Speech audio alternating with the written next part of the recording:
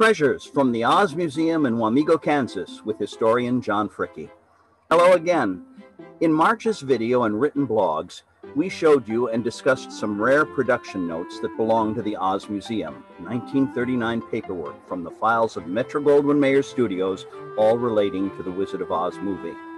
This month, our MGM Memorabilia Spotlight shines on Lewis Croft of Idaho, shown here holding a guitar and posing with fellow members of the Harvey Williams troupe of Little People in 1938. The Williams performers appeared as Munchkins in The Wizard of Oz, and here you see Lewis years later holding the vest from his original soldier costume. It belongs to a private collector. But the Lewis Croft soldier jacket? Ah, that's where the Oz Museum can claim another of its treasures. In November 2014, Bonhams in New York City auctioned a number of Oz movie items, including Bert Lahr's Cowardly Lion costume. Bert's daughter Jane posed with the costume prior to its sale. It eventually went for more than $3 million. Huh! But what have we here?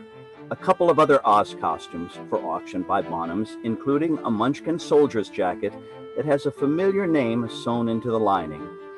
I was lucky enough to play a part in Wamego's acquisition of this costume, and May's written blog will tell you about how Lewis Croft's jacket became one of the treasures of the Oz Museum.